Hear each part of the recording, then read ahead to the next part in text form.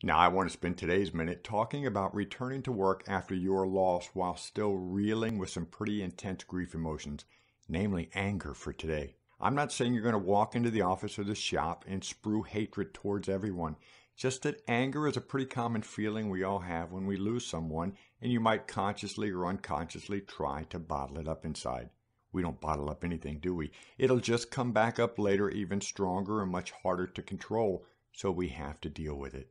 Just remember, the anger you feel is not toward anyone at work. The hard truth is you lost someone, and anger is actually a healthy and natural reaction to that loss. As long as you're not hurting yourself or others, and that means with words and not just fists, you're okay. And take it from me, being okay is pretty good when considering what we've been through. Actually, anger has done some pretty great things for society.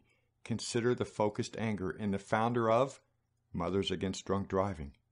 So, if you feel anger, embrace it, but focus it on something positive and know it is actually okay. And more importantly, know that you're okay.